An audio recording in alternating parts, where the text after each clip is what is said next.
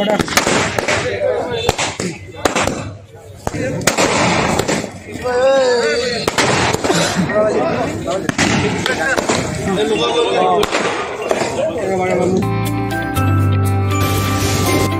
এই মুহূৰ্তত কি ক'ব? সম্পাদকৰ আপুনি অলংকৃত কৰিছে।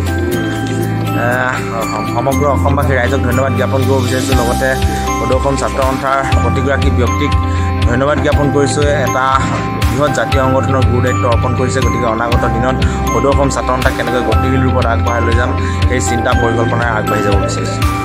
ভৱিষ্যত পৰিকল্পনা? ভৱিষ্যত পৰিকল্পনা বহুখিনি পৰিকল্পনা কৰা হৈছে। কাৰ্যনিৰ্বাহক সভাতো বহুখিনি সিদ্ধান্ত লোৱা হৈছে। গতিকে যিবিলাক সিদ্ধান্ত গ্ৰহণ কৰা হৈছে সেই সিদ্ধান্তবিলাক সাকাৰ ৰূপ প্ৰদান কৰিবৰ কাৰণে চেষ্টা কৰিম ধন্যবাদ।